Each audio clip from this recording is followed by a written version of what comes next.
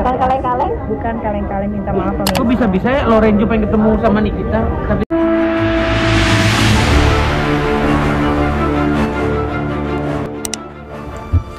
Nikita Mirzani bertemu dengan Jorge Lorenzo bintang balap MotoGP.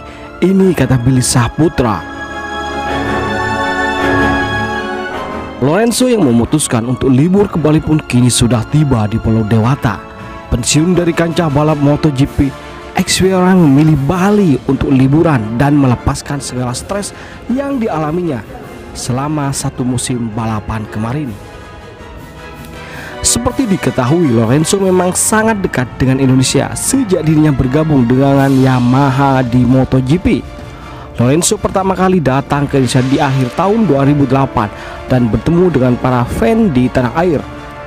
Nah, makanya agak heran kalau pembalap 32 tahun ini memilih Bali untuk tempat liburan. Di sana Bali masyarakatnya sangat baik dan saya juga tidak sabar untuk keluar dari kondisi dingin ini. Bilangnya usai menyelesaikan race terakhir di MotoGP Valencia 2019. Saya ingin bersantai dan saya merasa saya harus segera keluar dari tekanan dan stres yang saya dapatkan di tahun ini. Nah, Jumat 22 November Lorenzo pun sudah berada di salah satu villa di kawasan Seminyak Bali untuk bermalam. Hal itu terungkap melalui instastory di akun pribadinya. Tetapi tidak hanya itu saja loh yang diunggah oleh Lorenzo. Dirinya juga mengunggah foto ketika dirinya bertemu dengan Nikita Mirzani, salah satu aktris dan selebritis Indonesia dari foto tersebut terlihat momen kebersamaan mereka dengan berpose bersama. Bahkan dari instastory di akun Instagram Nikita Mirzani Mawardi, Nikita sangat senang bisa bertemu dengan sosok Lorenzo. Kenapa dia disuruh-suruh? Oh.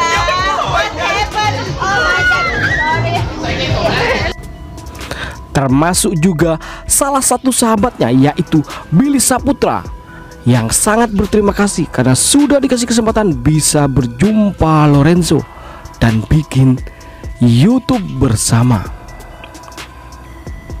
Biar makin cihuy dan mau tahu aja apa yang dilakukan, silahkan pantengin IG story milik Nikita Mirzani dan gue juga ya, kata Billy Saputra. Oh mama sister, kalau ada rahasia-rahasia nyai harus dibongkar.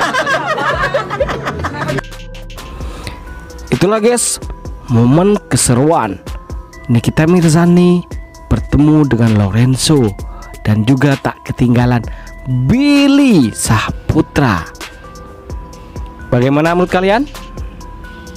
Jangan lupa like, komentar di bawah dan subscribe. Terima kasih telah menonton.